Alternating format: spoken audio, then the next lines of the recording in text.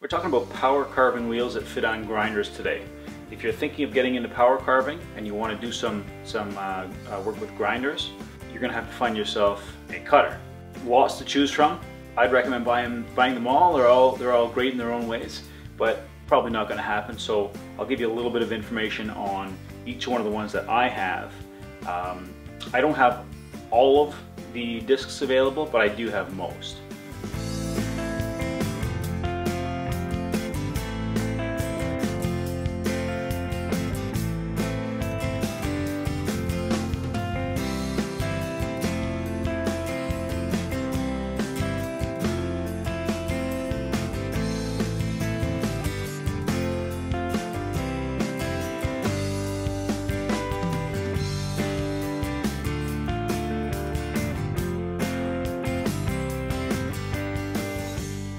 So the first one we're going to get started with here is a Kutzall um, uh, uh, uh, cutting wheel. This is a dished cutting wheel. It's, it, it has a curved face to it. And this essentially abrades the wood.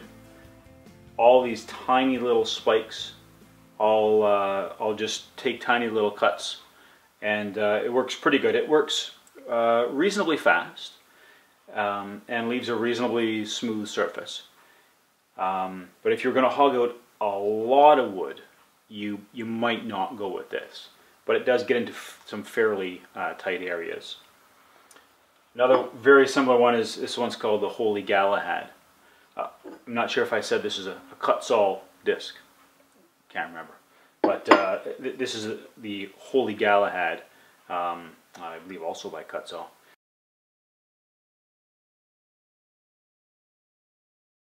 And it's essentially the same cutting disc except for the fact that it has these holes in it. These holes just allow you to, to take a little bit of a look right through the grinder as you're working.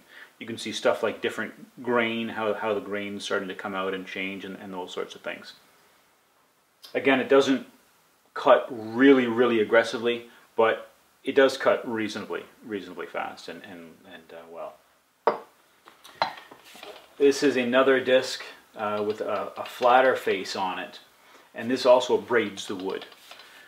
It works um, a lot, slow, not a lot slower, but a fair bit slower than, than these more aggressive uh, cutting wheels. And if you try to cut, uh, if you try to remove a lot of wood, it really will um, burn a little bit. It's, it's just a little bit slower, but it does leave a pretty smooth uh, uh, surface. You can cut on the edge of these uh, wheels as well a little bit. So that's, uh, that's that guy. This is one that I use probably more than anything else. It's the Arbortech Industrial Wood Carver. It's got these little carbide teeth on it, three teeth, that can be rotated and replaced. Um, it only cuts at the circumference, the, the edge of the cutter. There's no cutters on the on the face at all. Uh, so it's it's a little bit different in that respect. These guys will cut on their their their edge or their, their face. You can move them all way, all around, but these work in a little bit more of a deliberate way, and you always have to have that them tipped down so that their edges and uh, their their edges are just doing the the cutting.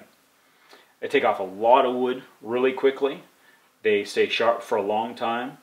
This is a, you know, it's, it's a workhorse. It's for removing lots and lots of wood really quickly.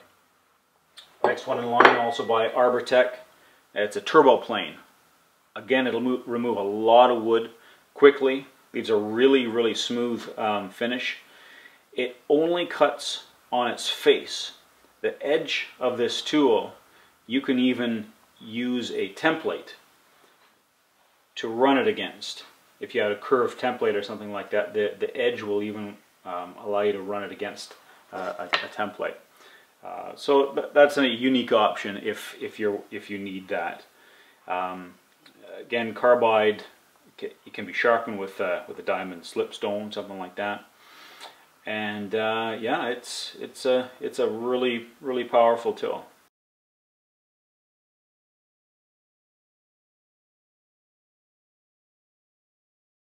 Another one is uh, also by Arbortech. It's called a mini uh, mini turbo. This is the this is the turbo plane. This is the mini turbo. It its um, its size lends it to be used in a lot tighter areas, a lot smaller. You can really uh, create some more uh, depth change, some ele elevation, uh, I guess. Uh, it has these the same carbide teeth, I believe they're the same anyways, as the Arbortech um, industrial wood carver. And they can also be uh, rotated and, and, replaced and sharpened uh, if needed. But they do last quite, um, quite a long time. I haven't used this much, but it does a pretty good job. And um, yeah, it's, that's the, this one as well as the next couple I'm going to talk about are just for uh, more more work working in uh, smaller, tighter areas. So these go right onto your grinder, and you can work them like that.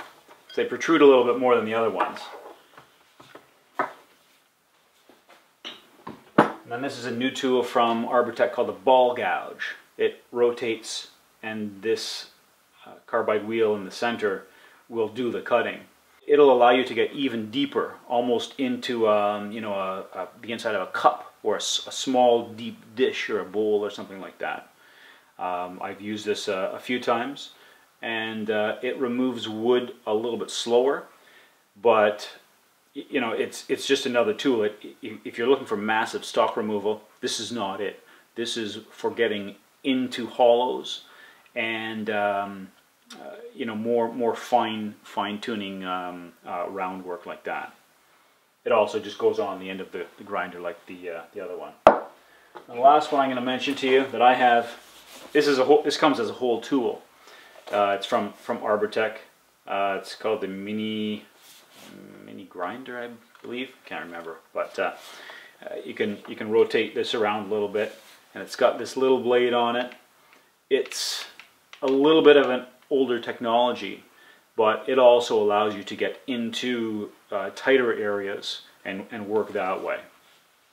I believe, I'm not positive, but I, believe you can put the, the uh, mini turbo wheel, cutting wheel, onto this. Anyways, that's a, that's a quick rundown of, of all these different uh, cutters that I have let me know what your thoughts are. You can you can always do some more reading, check them out.